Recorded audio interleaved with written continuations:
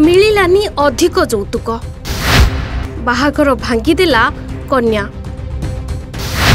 ବରଘର ଦେଲେନି ଅଧିକ ଯୌତୁକ ଯୌତୁକ ପାଇଁ ଭାଙ୍ଗିଲା ବାହାଘର ଯୌତୁକ କଥା ଉଠିଲେ ଆପଣ ଏହାକୁ ଆଇନଗତ ଅପରାଧ ବୋଲି କହିବେ ଯୌତୁକ ଦେବା କିମ୍ବା ନେବା ଉଭୟ ଏକ ଅପରାଧ ବୋଲି ଘୋଷଣା କରାଯାଇଛି ବିବାହ ସମୟରେ ଯୌତୁକକୁ ନେଇ ଅନେକ କଥା ଆପଣମାନଙ୍କ ସାମ୍ନାକୁ ନିଶ୍ଚୟ ଆସିଥିବ।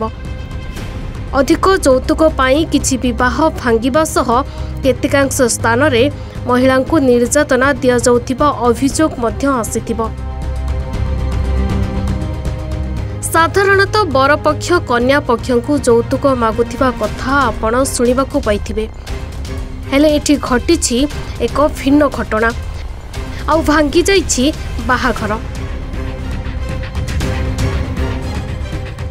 ଅଧିକ ଯୌତୁକ ନ ମିଳିବାରୁ ନିଜ ବାହାଘର ଭାଙ୍ଗିଛନ୍ତି କନ୍ୟା।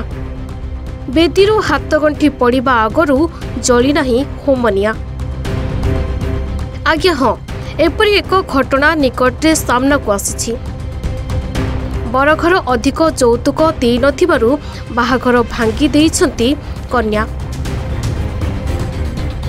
ସୂଚନା ମୁତାବକ ହାଇଦ୍ରାବାଦର ଉପାନ୍ତ ଅଞ୍ଚଳରେ ଏପରି ଏକ ଘଟଣା ଘଟିଛି।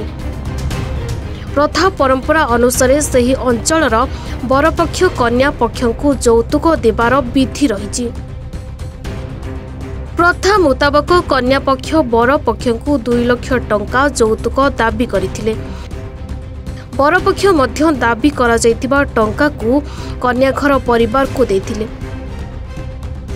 ହେଲେ ବିବାହ ସମୟରେ କନ୍ୟା ଜଣକ ବର ପକ୍ଷଙ୍କୁ ଅଧିକ ଯୌତୁକ ଦେବାକୁ ଦାବି କରିଥିଲେ। ଯାହାକୁ ନେଇ ବାହାଘର ଅଧାରେ ରହିଥିଲା। ଘଟଣାକୁ ନେଇ ବରଘର ଲୋକେ ଥାନାର ଦ୍ୱାରସ୍ଥ ହୋଇଥିଲେ। ପୋଲିସ ମଧ୍ୟ ଉଭୟ ବରପକ୍ଷ ଓ କନ୍ୟା ପକ୍ଷଙ୍କୁ ଡକାଇ ପଚରା ଉଚରା କରିଥିଲା। ପରେ ବର ଏହି ବାହାଘରରେ ରାଜି ନଥିବା କହିଥିଲେ।